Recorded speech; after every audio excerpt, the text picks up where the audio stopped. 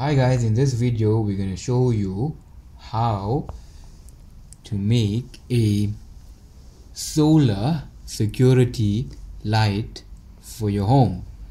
So why solar? Because solar will give you the backup power and if you lose utility power then at least you have a backup power for your home and also solar is convenient because you can place a panel pretty much anywhere around your house.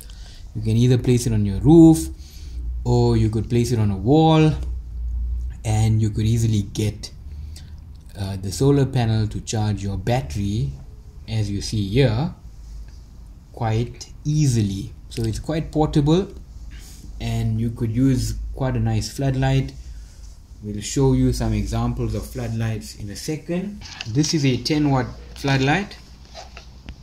You could use one like this. You also get them in 20 watt and they're quite bright and they don't take a lot of power which is ideal for these type of batteries that we want to use. So what I've done is I have wired up a small LED just for the the purposes of showing in the video. However the principle will still be the same. Whether you use this LED or that one it'll still be the same. So brown is your positive blue is your negative. And I've just used a, a lug here to connect it to the battery terminal.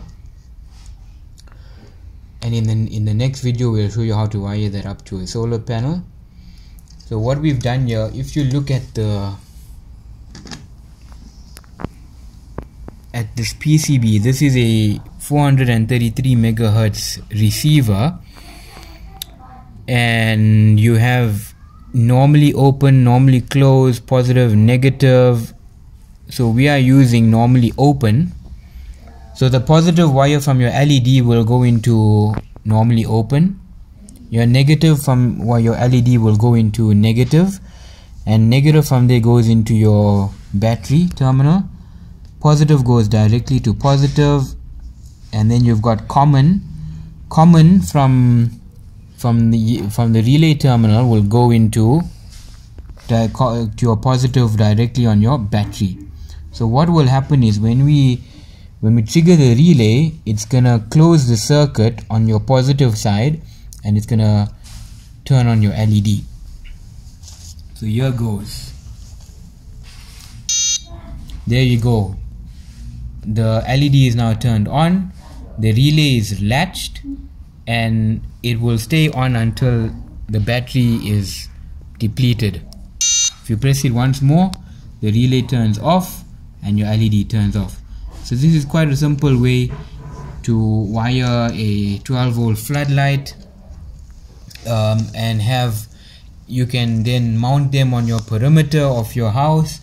So when you coming home late at night you can always switch them on and it'll give you quite a nice um, uh, light around your perimeter.